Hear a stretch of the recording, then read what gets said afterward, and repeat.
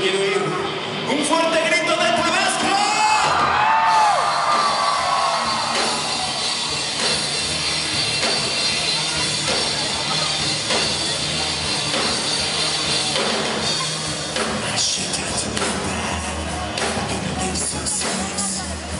She's been the shit on this side. She's